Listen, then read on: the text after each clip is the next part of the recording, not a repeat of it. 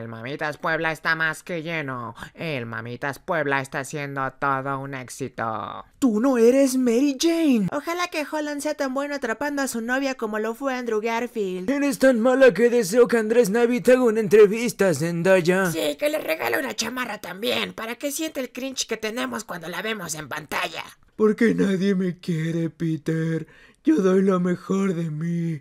Bueno, seguramente no tiene nada que ver con que no seas pelirroja, te hagas llamar MJ como si fueras Mary Jane, te vistas como un vagabundo y seas un aseido intelectual que trata de ser una mujer empoderada y termina siendo un personaje castroso.